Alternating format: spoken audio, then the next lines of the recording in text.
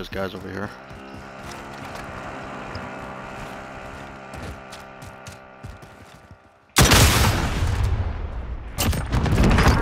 Holy fuck. Oh, wow. wow. Nice. God. Dude, not even a down, just straight kill. Uh,